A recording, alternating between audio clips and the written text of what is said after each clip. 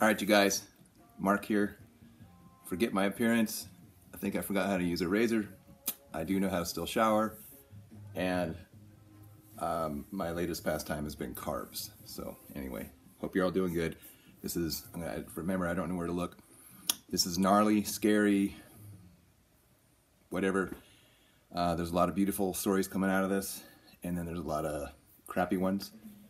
And um, yeah, you guys are paying attention enough. So, but the thing that just kind of dawned on me when I was in the shower just now. So, I remember when we used to do, and I'm just like regular army, not you know, sniper warfare and all that jazz and so on. There's there's other guys that do that better. But spiritual warfare, mm, that's another thing. That's kind of where I tend to go. So, anyway, that's what we're under. If you still think this is a coincidence, I don't have that much faith.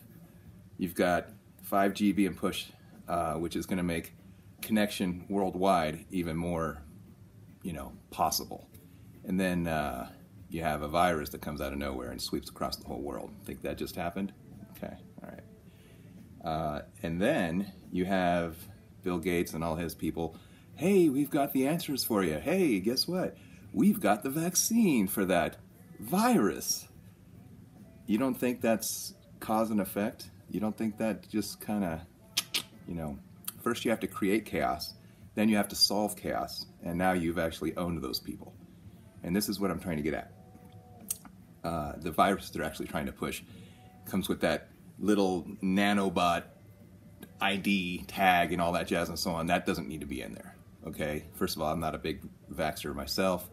Uh, they keep trying to push the idea of herd immunities and all that jazz and so on. No offense, I never got anybody sick. I don't get sick myself my kids don't get sick. We never got anybody sick, and we don't carry viruses, and we don't we don't do vaccines. And guess what? We our bodies actually just developed immune systems. And I know plagues have come and gone, um, but that's not a reason to go running to uh, tampering with, with bodies and so on and so forth. Get your alkaline levels up, get your immune system, whatever. I used to wash my my you know, scrape your arm and knee and whatever, go wash it off in the gutter. I don't know, maybe that's why I don't get sick. anyway, sorry girls if that was gross sounding, but here's what I'm getting at. You have the chaos. Now you have what they're trying to push is the answer. The world wouldn't just line up and say, "Hey, here, you know, give me a give me a stamp or give me a shot in the arm or give me a, something in my hand or whatever." The world's not going to line up for that unless they have a reason to. And this is what I'm trying to get at. You cause the the chaos, you bring the answer, and now you track everyone and now you own them. And the bible even speaks about that. Revelations 13 16 you do not want a part of that. If this is not the mark of the beast then it's something exactly like that. But this is too dang close. I'm not having it. I've already said before um, don't worry about me. I'm going to put my faith in jesus. I'm going to do whatever it takes. And, and a lot of you guys know me personally. I'm a knucklehead and i make my mistakes and so on but the heart. So when i was in the military we used to do um, ambush exercises on different companies, different groups, whatever. And this is what I want to tell you. This is what I need to tell you. Go look it up. 2 Corinthians 11 14. Satan comes as an angel of light. Okay? It's good Satan, bad Satan, but it's all Satan. He's he's funneling, funneling, funneling us down that, that avenue that he wants so we can have the complete and total slaughter. And this is what I'm getting at. When you have an ambush, First of all, you find a choke point. You find something that we all need to do and go through and whatever else and so on. In Vietnam, they did it back and forth. They were lining tripwires and so on. Uh, some of my Marine friends and older guys that have been there, you can you can verify that.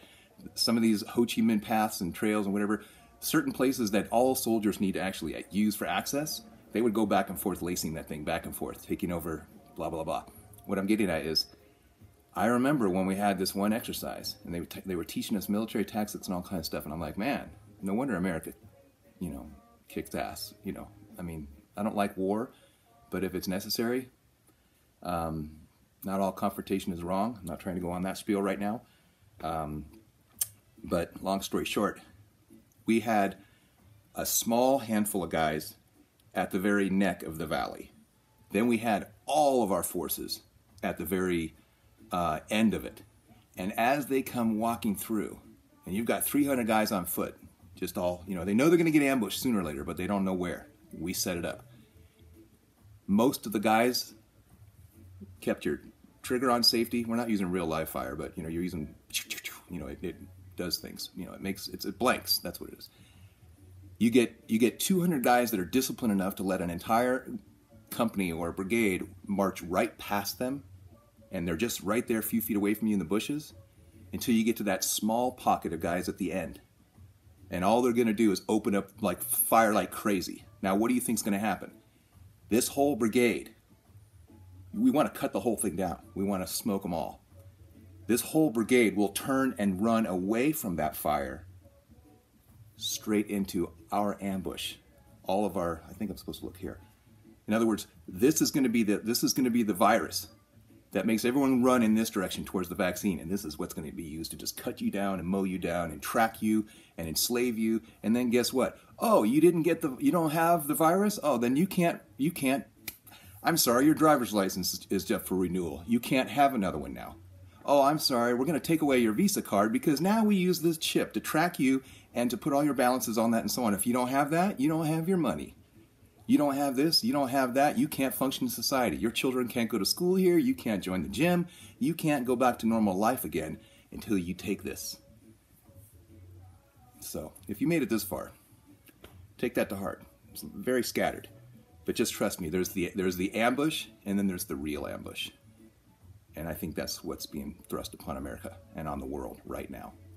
If we ever go back to life as it was, just look forward to slavery because that's what the powers that be the Hillaries and the pedophiles and the, the corrupt powers that be. I mean, they don't even try to hide it anymore.